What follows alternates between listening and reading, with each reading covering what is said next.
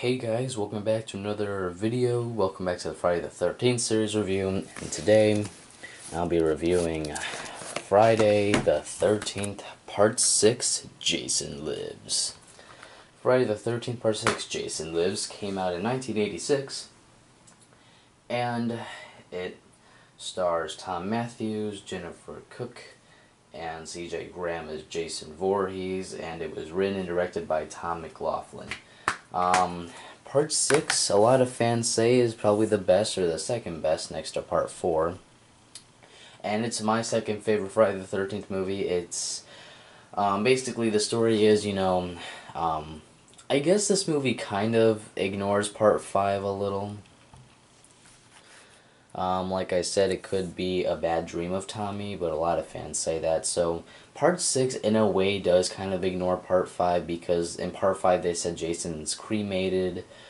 Um, in part 6, he's just, uh, he's just Jason. He's not cremated. So, I'm going to assume that part 6 kind of ignored part 5 a little.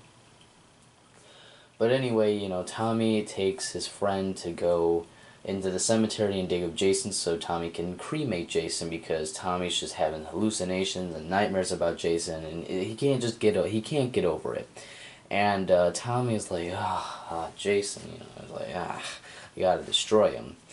And, um, you know, they do try to do that. They get to the digging up and they open Jason's coffin and they're just about to light fire on Jason. And then it starts raining and then it starts lightning and this, this lightning um, brings back Jason from the dead. It reanimates him. So Jason comes back. He kills his friend. Tommy goes to the sheriff, and the sheriff's like, ah, Jason's not back. Jason's been dead for a long time. And he, he just does not like Tommy.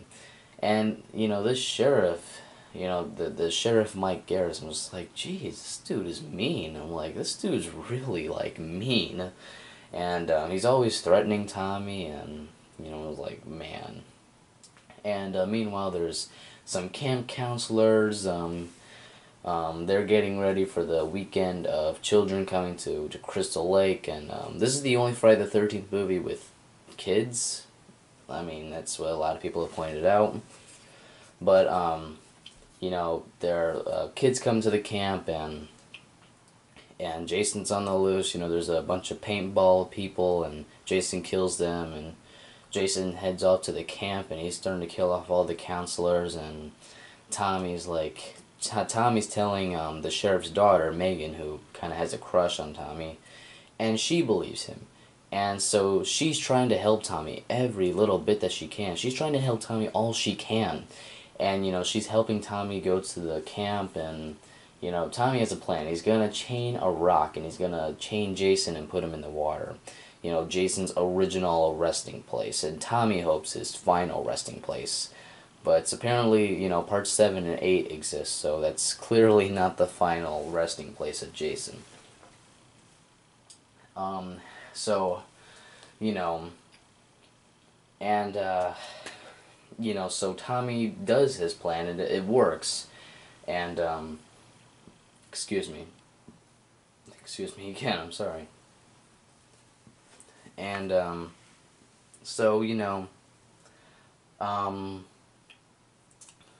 so, I'm, I'm, I lost track. Um, so, Jason pretty much is fighting Tommy, and, you know, they're trying to chain him underwater, and it does work, you know, um, yeah.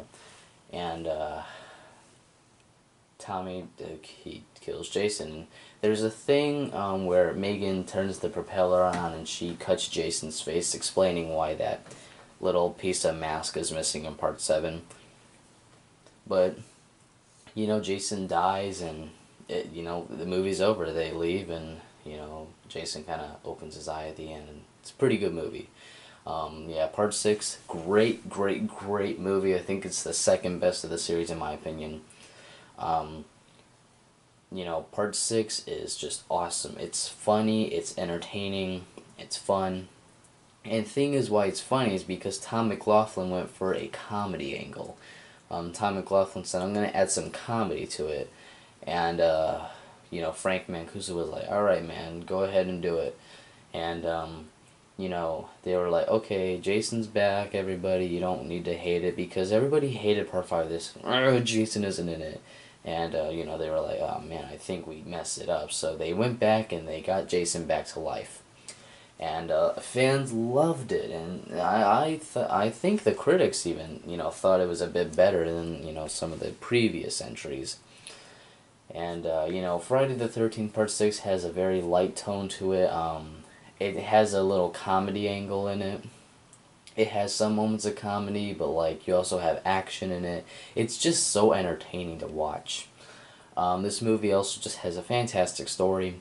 Um, I love how it's just Tommy versus Jason at this point. And it's, yeah, like I said, it's Tommy versus Jason at this point. And uh, Tommy is like, alright, I'm going to finish off Jason, and the Tommy story is now completed.